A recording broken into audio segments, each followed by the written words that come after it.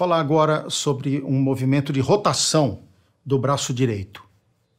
Esse é um movimento importante porque uh, uh, em alguns momentos você precisa tocar, por exemplo, na corda Sol e na corda Mi. E eu prefiro usar o movimento de rotação